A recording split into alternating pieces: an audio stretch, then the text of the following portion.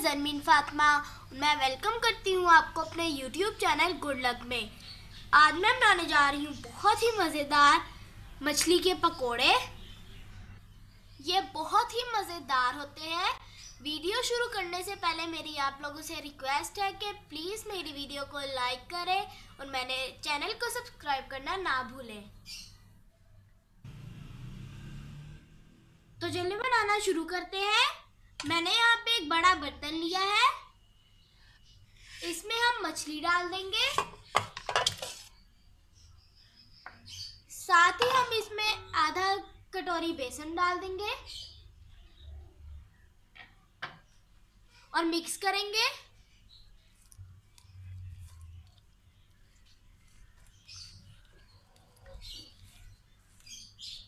इसमें दो चम्मच अदरक लहसुन का पेस्ट डालेंगे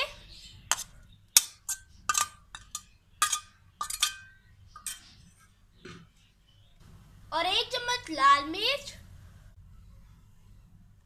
एक चम्मच धनिया पाउडर, एक चम्मच जीरा पाउडर, आधा चम्मच नमक। नमक आप अपने हिसाब से डाल सकते हैं। आधा चम्मच चाट मसाला, दो चम्मच इसमें पानी डाल देंगे। और हाथों की मदद से ये सारे मिसाले मछली के ऊपर लगा देंगे अच्छे से।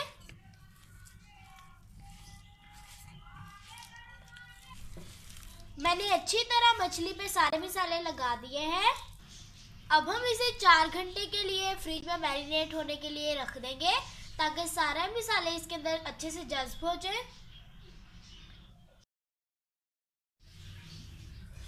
चार घंटे हो गए हैं, मसाला इसमें अच्छे से मैरिनेट हो गया है। अब हम इसके ऊपर कुकिंग के लिए बैटर तैयार कर लेंगे। तो इसके लिए हमें जिन चीज़ों की ज़रूरत है, आधा चम्मच नमक, आधा चम्मच लाल मिर्च, आधा चम्मच ज़ीरा, आधा चम्मच पिसा हुआ सूखा धनिया, एक कप बेसन। अब हम एक बाउल लेंगे। इसमें बेसन डाल देंगे। धनिया पाउडर डाल देंगे। जीरा डाल देंगे। लाल मिर्च डाल देंगे और नमक डाल के इसे अच्छे से मिक्स करेंगे। इसे हम अच्छे से मिक्स कर लेंगे।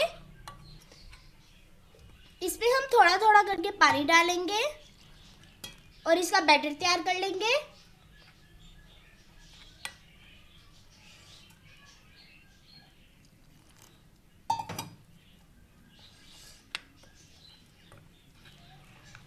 थोड़ा पानी और डालेंगे।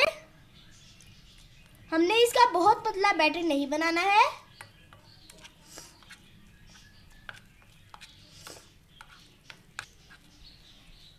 थोड़ा सा और डालेंगे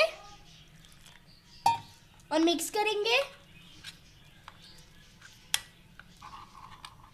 मैंने इसका बैटर अच्छे से तैयार कर लिया है। देखिए, इतना थिक होना चाहिए। अब हम इसे 10 मिनट के लिए रख देंगे। दस मिनट हो गए हैं। अब हम ऑयल गर्म होने के लिए रख देंगे। अब हम मछली का एक एक पीस उठाएँगे और इसमें डिप करके फ्राई कर लेंगे।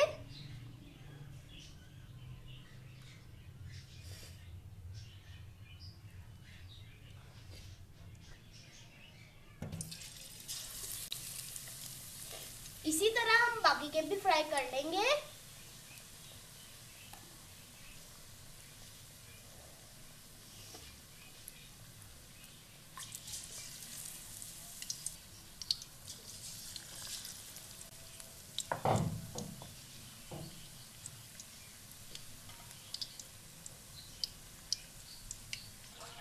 हमने दरमियानी आग पे फ्राई करना है इन्हें। मैंने इनकी साइड चेंज कर दी है। हमने इसे 10 मिनट तक फ्राई करना है हल्की आग पे। ये देखिए, ये फ्राई हो गई है। अब हम इन्हें प्लेट में निकाल लेंगे और बाकी की भी फ्राई कर लेंगे।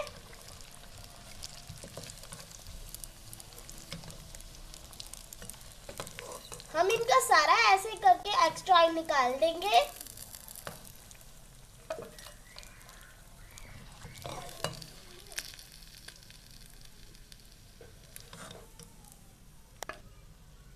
ये देखिए, मैंने इन्हें प्लेट में निकाल लिया है।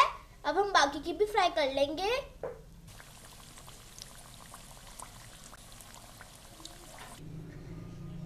ये देखिए, हमारे बहुत ही मज़ेदार मछली के पकौड़े बनके तैयार हैं। यकीन माने, ये बहुत ही मज़ेदार है।